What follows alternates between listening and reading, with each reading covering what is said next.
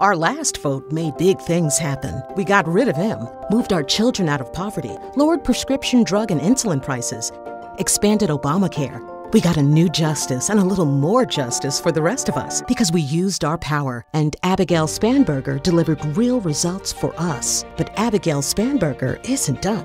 Neither are we. We've got women's rights to protect, extremism to fight, and voting rights to defend. If we vote about it. If we vote for Abigail Spanberger.